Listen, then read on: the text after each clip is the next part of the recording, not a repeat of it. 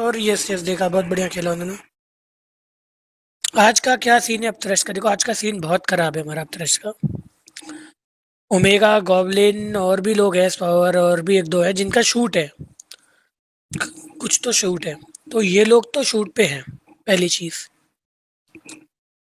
तो ये खेल पाएँगे यूई वो पॉसिबल तो नहीं हो पाएगा। तो गॉबलिन नहीं है ओमेगा नहीं है। S power one D one Neo को हरा सकता है क्या? पता नहीं, पर एक चीज़ तो मैं श्योर हूँ काफ़ी टफ फाइट होगी। ओमेगा को कोच बना दो। भाई, तुम्हें ऐसा क्यों लगता है कि ओमेगा एक आईजीएल का स्लॉट डिजर्व नहीं करता? तुमने अगर देखा हो तो जो पूरा मोमेंटम शिफ्ट किया है फाइनल डे पे, हमारी टीम को जब सबसे ज़्यादा ज़रूरत थी वो एक प्लेयर जो बाकी के प्लेयर्स को मोटिवेट करे, वो ओमेगा ही था।